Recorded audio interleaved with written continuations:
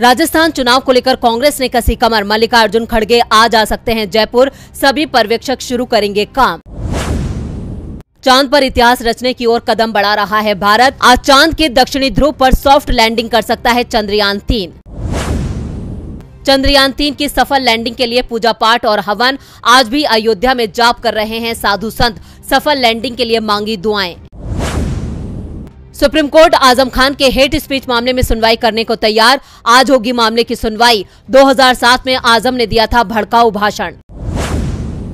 नितिन गडकरी और तेजस्वी यादव आज करेंगे press conference. Elevated corridor Purvanchal expressway पर होगी चर्चा। मिशन 2024 पर मायावती बीएसपी प्रमुख ने आज लखनऊ में बुलाई बैठक। लोकसभा चुनाव में यूपी की स्थिति पर होगी चर्चा। पाकिस्तान के पूर्व पीएम इमरान खान की बढ़ सकती हैं मुश्किलें। शीर्ष अदालत इमरान खान के तोशाखाना मामले की सुनवाई करेगी आज। आज से एशिया कप के लिए भारतीय टीम से जुड़ेंगे किंग कोहली। खुद किया कंफर्म, टूर्नामेंट का आगाज़ 30 अगस्त से होगा। रेल यात्रियों के लिए ज़रूरी खबर, आज करीब नवासी ट्रेनें रहेंगी रद्द, कई गाड़ियों का बदला गया रूट। आज हो सकती है अगस्त की सबसे भारी बारिश, आईएमडी ने जारी किया अलर्ट, पहाड़ों पर बरसेंगे मेघ।